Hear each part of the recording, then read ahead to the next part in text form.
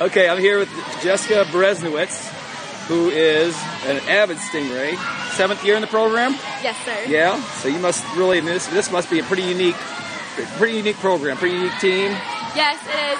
What's most unique about our team is that we're like a big group of girls that are all here to like do one job, is hit our routine and work as hard as possible every practice. We work three times a week and we put every minute to the hour and hard work and never leave the gym upset about anything.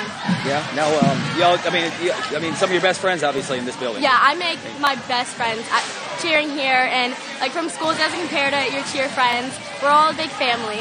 That's great. That's great. How about the coaches here? They got to be. I mean, you got to be some outstanding coaches here. They're pretty Got awesome. They Yeah? always strive, make us strive to be our best, and really push us to our hardest limits. And that's a great feeling. They always encourage us. They never push us down, and they really like uplift us when we're having a bad practice. Yeah. Now, why cheerleading? Why do you cheer?